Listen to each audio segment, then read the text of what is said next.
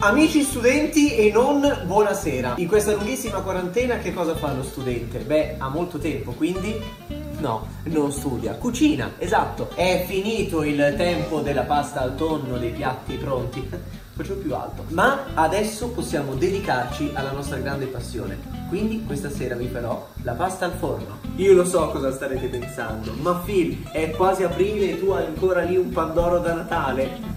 Non è lì da Natale, è lì da 4 anni. Ma iniziamo. Anzitutto si prende la teglia dove sarà fatta la pasta al forno e la si riempie di pasta. Naturalmente come vedete si sta leggermente sotto il livello della teglia perché poi si gonfierà. Dopodiché, visto che tanto abbiamo tempo, iniziamo a tagliare la mozzarella che andremo poi a mettere qui. Molti utilizzano la besciamella, altri altre cose, insomma io la farò con la mozzarella, non ci metterò il cotto anche se di solito metto il cotto, nemmeno le uova sode anche se di solito metto le uova sode sode. Perché? Perché non ho sbatti di farle. Dopodiché si prepara un soffrittino a fuoco molto molto basso. Io ho usato lo scalogno, volete potete usare cipolla, aglio a vostro piacimento. E poi intanto si mette a bollire l'acqua. Sta già bollendo, non preoccupatevi, è su da ieri mattina. Infatti vi ricordo che per far bollire una pentola d'acqua servono dai 2 ai 3 giorni circa. Piano piano che cosa andiamo a fare? Andiamo ad aggiungere la pummarora, la passata, la polpa, questa è poca quindi quindi ne apriremo un'altra e inizieremo a cuocerla. Nel frattempo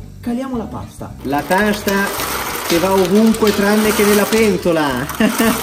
Porco! Come vi dicevo la pasta al forno è uno dei piatti più a piacimento che si possono creare Potete davvero metterci qualsiasi cosa Io ho deciso di farla molto semplice Perché semplicità vuol dire semplicità. Iniziamo a metterci un pizzico di sale a vostro piacimento, alziamo leggermente il fuocherello sotto e cuocere, cuocere e ancora cuocere.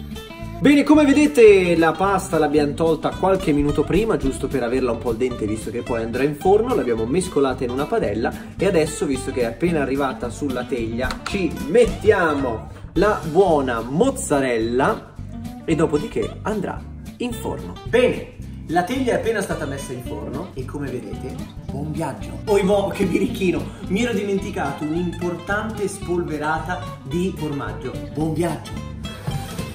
Ed eccoci qui, risultato meraviglioso, la nostra pasta al forno è ufficialmente pronta. Che cosa dire? Andiamo a mangiare!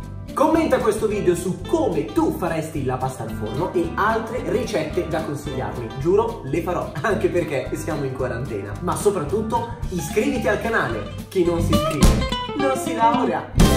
Ma è una laurea.